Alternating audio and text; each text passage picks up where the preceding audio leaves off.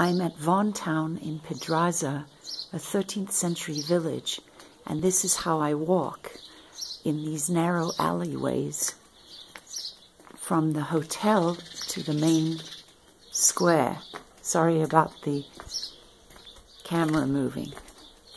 So the alleyways are super narrow, and then you get into this big square